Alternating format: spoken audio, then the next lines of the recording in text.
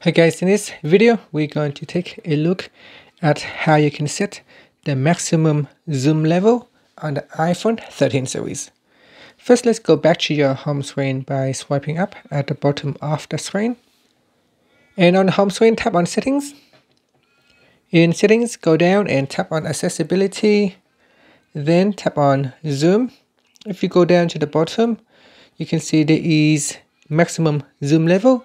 Now you want to drag on the maximum zoom level slider bar to make it small or large.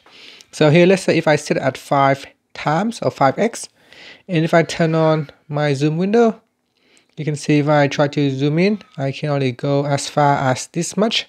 I cannot make it any more larger. And if I go down here, increase my zoom up to 15 times, now I can continue to zoom uh, in even more. So you can see I can zoom all the way in or zoom all the way out with my maximum zoom level set at 15 times. If I decrease it down to simply just 1.2 and if I go in here you can see my maximum is only up to 1.2 times. And that is how you can set the maximum zoom level